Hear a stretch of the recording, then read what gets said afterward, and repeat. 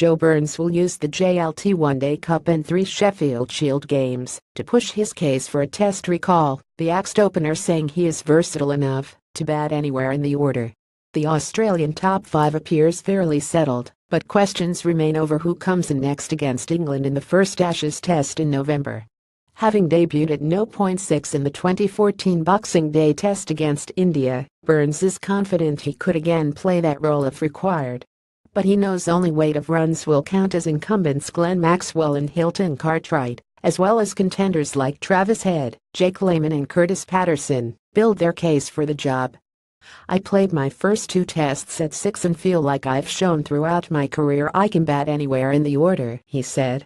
You don't focus on getting selected though, you just make sure you are playing good cricket and making as many runs as you can. Aussies collapses India go 20 up despite scoring back-to-back half-centuries. Burns was dropped after playing two tests before earning a recall to open alongside David Warner.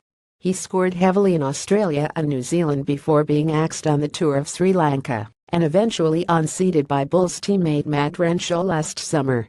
In response, Burns averaged a touch over 40 to top the Queensland run charts last season.